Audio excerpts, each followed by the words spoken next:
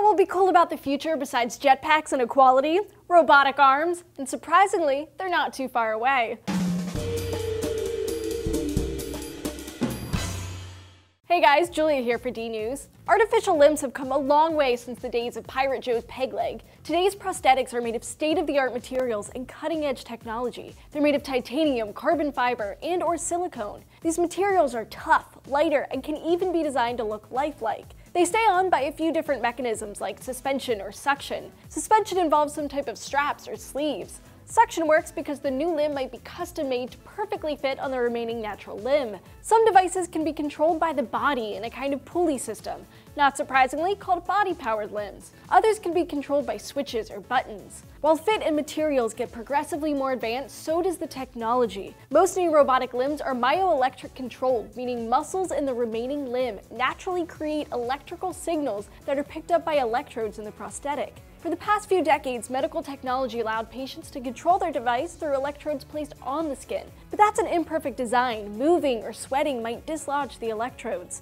So scientists are looking to the future. Recently, a report published in the journal Science Translational Medicine talked about a robotic arm that uses what's called a Brånemark titanium implant, which attaches the prosthetic directly to the skeleton in a process called osseointegration. And just like it sounds, this process fuses the bone to a titanium piece which sits outside of the limb, which the robotic arm attaches to. To control the device, the technology goes a step beyond the current myoelectric types. It uses targeted muscle reinnervation, or TMR, to hook up the prosthetic to nerves inside the patient's body. The process takes nerves from the amputated limb and puts them on a spare muscle like the pectoral muscle, which is called the target muscle. Once these nerves start to regrow, they can be activated by thought. Electrodes surrounding the muscle and nerves can then control the prosthetic. Sounds pretty futuristic, right? Yet something seems to be missing, the sensation of touch. Current techniques use sensory substitution to provide feedback, like a buzz or vibration when the limb comes into contact with something. In research presented in the journal Plastic and Reconstructive Surgery, researchers look for a way to restore a patient's ability to feel. The researchers say this would reduce the cognitive burden of relying on vision alone to navigate the environment. A robotic hand with the ability to feel would be able to take a sensation like hot or cold or pressure like firm or soft and translate that into electrical signals. The different sensations could then create a different signal, like it could vary in strength, frequency, or duration. The researchers suggested using TMR to restore some type of sensation for the patient.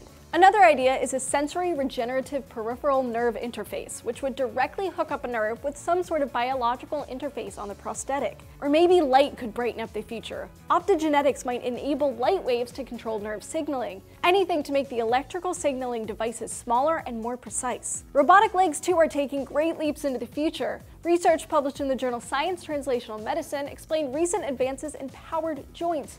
Yeah, that's right. Basically, each joint in a robotic leg can have a little motor in it. This way, it detects pressure and angle and can send that information to the central nervous system. But more than that, the more advanced models can have a neural interface that enhances integration with the brain. This way, the legs can sense a person's intention, like the desire to move from a flat surface to climbing stairs. Either way, the future of artificial limbs is gonna be awesome. Speaking of insane augmentations, Toyota has been doing some tinkering of their own with the TRD line of Toyota trucks enhanced to rule the off-road. Do you have an artificial limb or know anyone who does? Tell us your story down in the comments below. Please like and subscribe to our channel so you don't miss an episode of D-News. Thanks for watching.